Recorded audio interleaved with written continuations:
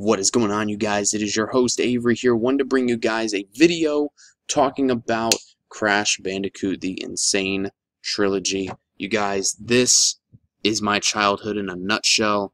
I absolutely fell in love with this game. I just beat it earlier today. I beat it in four days. Yes, that's right. I beat Crash 1 in like a day. I beat Crash 2 in like a day and a half. And I beat Crash 3 in like a day and a half. Um, but before I get into the main juicy points about my review, I want to get into, I guess, some sort of background with this review. If you guys saw the live stream, then you will know, um, I guess, that I was streaming Crash Bandicoot. um, but the reason why I privated the live stream is about an hour and eight minutes long of the first few levels of um, Crash Bandicoot 1. Well, my it got four copyright claims. I didn't get any strikes or anything. I'm fine.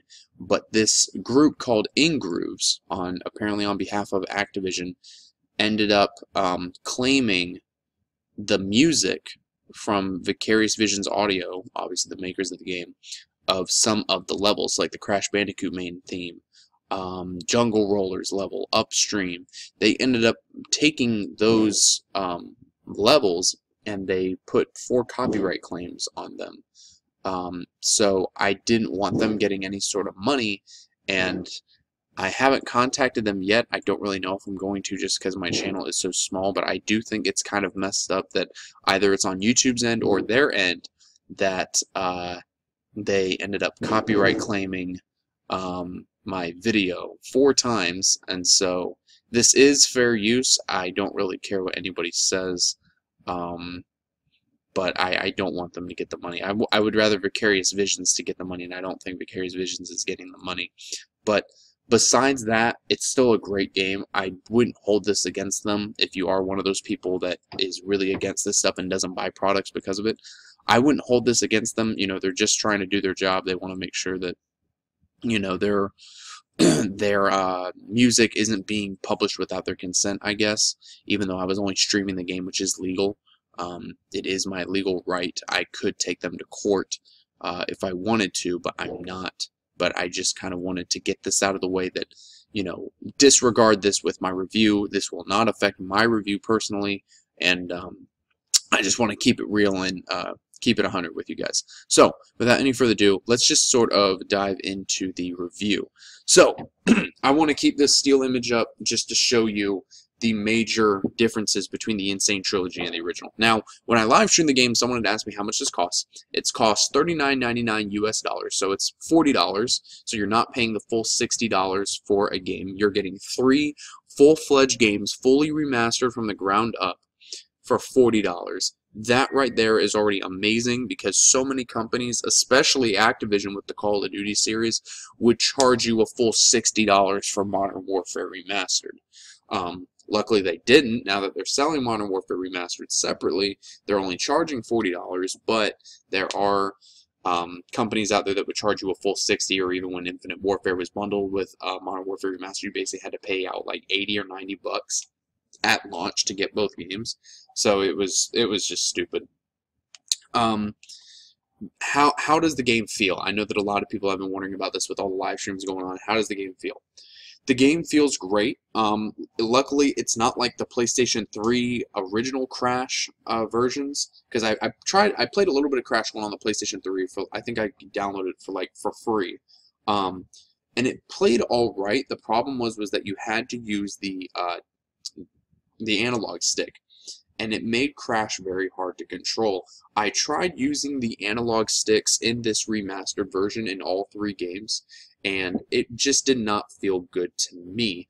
Um, I was born in 1996, so I didn't play Crash when it first came out, obviously.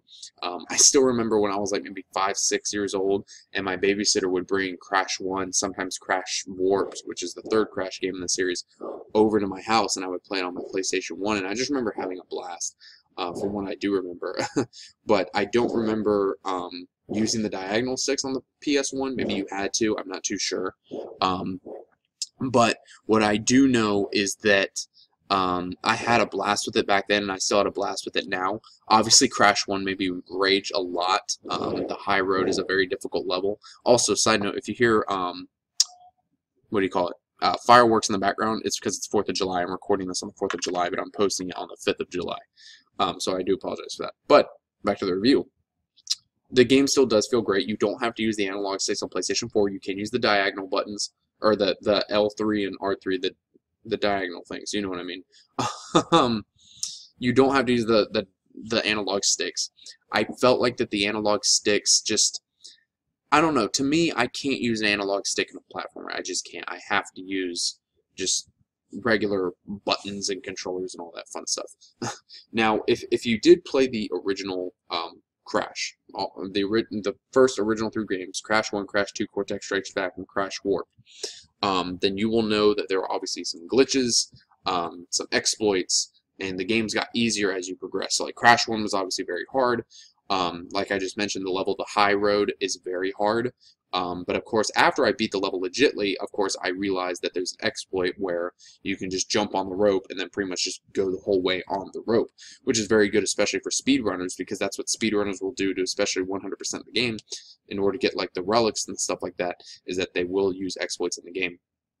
Also, cheat codes and other exploits, such as what I just mentioned with the rope on the high road. Uh, Vicarious Visions has kept all of that in. Um, I'm not sure if they kept this in, but I'm 99.99% positive that they took it out. But I know, at least if I remember correctly, there were um, there was like a code that you could put in in uh, the Crash games to where you could be able to play a demo of the Spyro game that Naughty Dog was bringing out later um, that in that time period because it would be like Crash and then they would bring out a Spyro game later. Um, so you used to be able to play a demo of the next Spyro game coming out in the Crash games. Um, Vicarious Visions, as far as I know, has taken that out. I doubt that they would remaster a demo. I, I highly, highly doubt that they would go into the exploit cheat code just to remaster a demo of Spyro. now, what is nice is that I watched a review before the game actually came out, and Vicarious Visions has said that they are listening to the community, that um, when it comes to Spyro, because the guy did ask that to Andy, he said, could we see a Spyro remaster? And he said, we're listening to the community, we're listening to the community.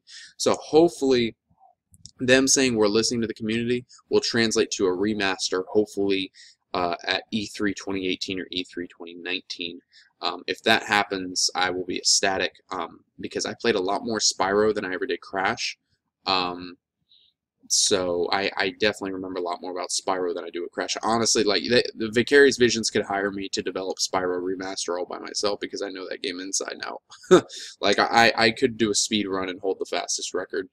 Um, not trying to toot my own horn. That's just how well I know the games. I feel. So as you can tell by the picture as well, you can tell that obviously the graphics have had a major, major overhaul, and it is so great to see these in updated, you know, 1080p on the PS4, 1440p on PS4 Pro, and it's just it, it's beautiful. Like it really is. Just to show you some other images, this is an image right here in Crash Warped um, of the updated graphics. It's beautiful, amazing. This is Coco Bandicoot right here. Uh, she's my waifu. uh, I just wish she was older. Shoddy bad. Um, here's her again. Uh, just the amount of detail that they put into this. Um, like her freaking out over the boulder and Crash does the same thing. Here's another image of the levels and just the amount of detail and work that went into this, the love and the care is just absolutely amazing. Uh, here's another image. Uh, here's just another image right here. Um, obviously, Coco's a playable character in all three games. Um, I'm not going to talk about that here of how to unlock that because this is just a review. But she plays just like Crash, and it's great. Um, and it just it, it it's it's amazing game. If you liked the original Crashes, you're gonna love this. Uh, it plays great. There's no lag. Uh, there's no nothing really. Um, the trophy hunting, which I also want to talk about, is very very difficult. Um, I've gotten several of the trophies across all three games, uh, just playing through it. Um, even in my playthrough of Crash Warped, I went back to get some of the other trophies, but it's definitely very difficult trophies just because, like, in, in Crash 1, for example, it, since it is the hardest Crash game out of all the other Crash games ever made, in order to, like, 100% that game, you have to beat every single level without dying. Because the way that it works in Crash 1 is that you have to break every single box but then in order to get the gem after breaking every single box, you cannot die. So like you'll get in the end of level and it'll be like, perfect, but you died. And so you have to redo that entire level and redo everything that you did, which can obviously be very much of a headache, um, especially on the much more difficult levels. So that's definitely not something that I'm looking forward to doing if I even ever do it. Um, Crash 2 and 3, pretty much same thing, except you don't have to beat every level without dying. You just have to go back and get all the gems, and then obviously you have to be able to get a gold relic or higher in the time trials, which is just getting a certain time done on the time trial in order to get the relic. Because you either get like blue, gold, or platinum. I think it's called sapphire, but sapphire, gold, or platinum, you need to get gold or higher in order to get the trophy. So it's definitely a challenge for trophy hunters uh, like myself, because I, I definitely want to trophy hunt in this game as much as I can. I don't see myself platinum platinuming all three games, unfortunately, but uh, it, it's still a blast just to be able to go back and play um, and to just, you know, relive those 1996 memories, you know what I'm saying? So anyway, I know that this review has been kind of long, but the final verdict for Crash Bandicoot The N. Sane Trilogy. Game is beautiful. Gameplay's great. Graphics amazing complete overhaul from the ground up, reliving my childhood. This game deserves the incredible 10 out of 10 for a remaster. This is the best remaster I've ever seen of a, of a game from the PlayStation 1, hell, 1996 in general. Th this is 10 out of 10. I'm not just saying that because, you know, I'm fanboying out. Like I said, I played a lot more Spyro than I did Crash. But this deserves a 10 out of 10. Um, the only thing that I maybe as a complaint is, um, which wouldn't really affect the score at all, is just uh, make the trophies easier to get. Don't don't make Crash One so punishing. I know you wanted to stick to the original thing, but man, that's hard. anyway, thank you guys for watching as always, and subscribe if you've not already. If you want to see more reviews, be sure to hit that like button. Would really appreciate it.